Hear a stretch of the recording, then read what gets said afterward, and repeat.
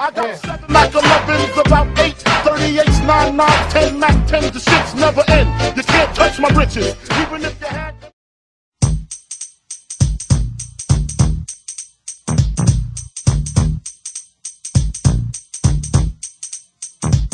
Now this is a story all about how my life got flipped, turned upside down And I'd like to take a minute, just sit right there I'll tell you how I became the prince of a town called Bel Air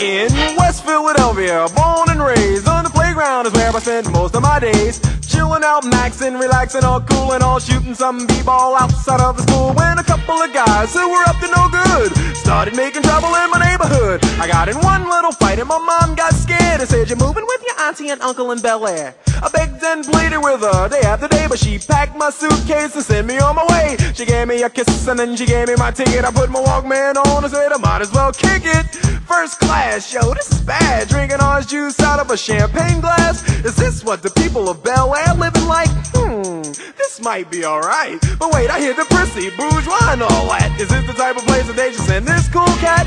I don't think so. I see when I get there. I hope they're prepared for the Prince of Bel Air.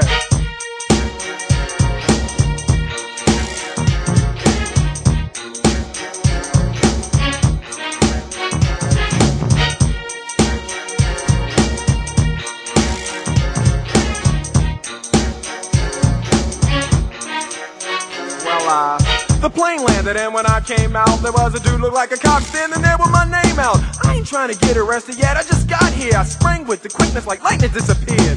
I whistled for a cab and when it came near, the license plate said fresh and it had dice in the mirror. If anything, I could say that this cab was rare, but I thought, man, forget it. Yo, home's the Bel Air.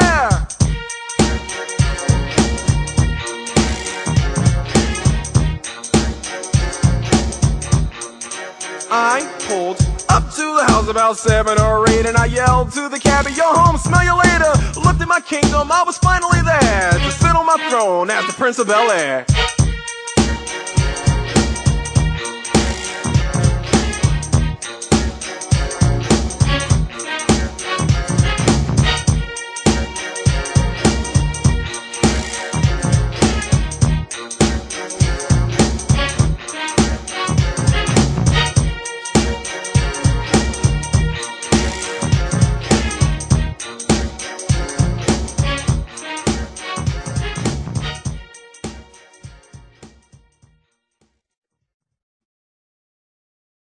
Thank